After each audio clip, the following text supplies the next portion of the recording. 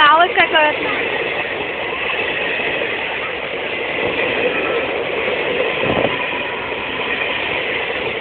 तू बघ दुसरं कोणतरी काढ